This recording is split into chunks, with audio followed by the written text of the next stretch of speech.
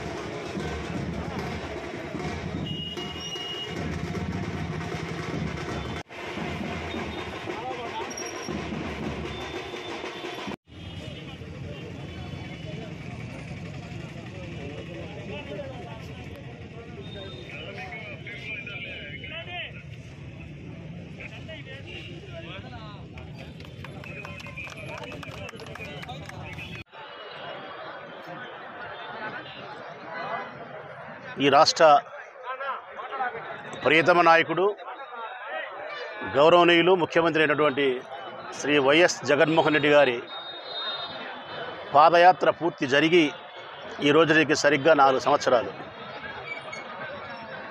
భారతదేశంలోనే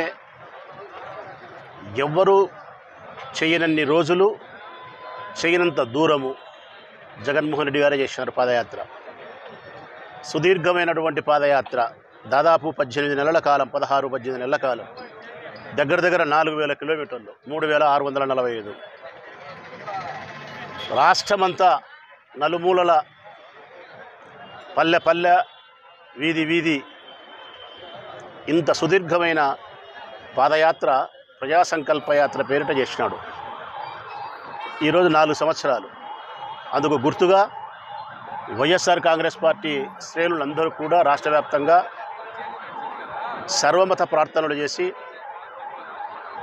మిఠాయిలు పంచుకొని కాసింత దూరం పాదయాత్ర చేసి ఈ రాష్ట్ర ప్రజలకు గుర్తు చేస్తూ ఉన్నాం.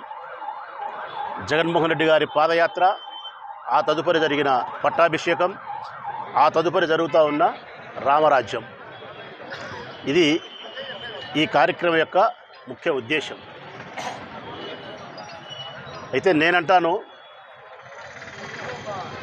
ఎన్ని వేల కిలోమీటర్లు నడవడం అధికారంలోకి రావడం ఇది ప్రాధాన్యత కాదు. ఇది ప్రాధాన్యత కాదు. గతంలో కూడా ఎంతోమంది నాయకులు పాదయాత్ర చేసినారు. సుదీర్ఘమైన వారి పాదయాత్రల యొక్క చివరి గమ్యం లక్ష్యం పార్టీని అధికారంలోకి తీసుకురావడం. కానీ జగన్మోహన్ రెడ్డి గారి పాదయాత్రకు ఆ అంశం కాదు. ప్రత్యేకత ఉంది. ఏమిటి ఆ ప్రత్యేకత అంటే ఏ నాయకుడైనా పాదయాత్ర చేస్తే పార్టీని అధికారంలోకి తీసుకురావడం కోసం కాదు. ప్రజా సమస్యలను తెలుసుకునే దానికోసం పాదయాత్ర చేయాలా? తెలుసుకునే ప్రజా సమస్యలను అధికారం చేజిక్కున్న చేజిక్కించుకున్న తర్వాత పరిష్కారం చేయాలా? గతంలో చంద్రబాబు నాయుడు కూడా చేసినాడు పాదయాత్ర. అధికారంలోకి మాత్రమే వచ్చినాడు. సమస్యలు తెలుసుకొని కొన్ని తెలుసుకోక కొన్ని. తెలుసుకున్నా కూడా పరిష్కరించకుండా అధికారంలోకి వచ్చినాక కానీ జగన్మోహన్ రెడ్డి గారు ఆ విధంగా కాదు. ప్రతి చిన్న సమస్యను చివరి లో క్లాస్ ఆర్థిక విధానంలో కానీ విజ్ఞానంలో కానీ అట్టడుగున ఉండే వ్యక్తుల యొక్క దైనందిన జీవితంలో ఉండే అసలైన కష్టాలు సంసార జీవితంలో పేదరికం వలన సంభవించే ఇబ్బందులు ఆకలి ఆరోగ్యం విజ్ఞానం లేకపోవడం అవమానాలు నిరంతరం జీవితంతో పోరాటం చేసే బ్రతుకు ఆ మనుషులను టార్గెట్ చేసినాడు. వారి సమస్యలను తెలుసుకోగలిగినాడు. అధికారంలోకి వచ్చిన తర్వాత ఆ సమస్యల మీద ఫోకస్ చేయడమే ఆ సమస్యలను పరిష్కరించడంలో భాగమే ఈనాటి రెండున్నర సంవత్సర కాలం ఇరవై ఎనిమిది నెలల ప్రజా సంక్షేమ పాలనలో అన్ని పథకాలు ఉద్భవించినాయి. జగన్మోహన్ రెడ్డి గారు ప్రవేశపెట్టే ప్రతి సంక్షేమ పథకం కూడా పేదవాని ఆలోచనలో నుంచి ఉద్భవించినదే వారి అవసరంలో నుంచి ఉద్భవించినదే స్వతసిద్ధగా ఆయన హృదయంలో నుంచి ఉద్భవించినది కాదు. ఏ నాయకుడైనా పాదయాత్ర చేస్తే ఇట్లనే చేయాలి. ఏ నాయకుడైనా పాదయాత్ర చేస్తే ఈ విధంగానే అట్టడుగు నుండే మనిషి యొక్క పేదరికాన్ని తెలుసుకోవాలి. ఈ విధంగానే అధికారంలోకి వచ్చిన తర్వాత సమస్యలు పరిష్కరించాలి. అందుకే జగన్మోహన్ రెడ్డి గారి పాదయాత్ర ప్రజా సంక్షేమం కోసం.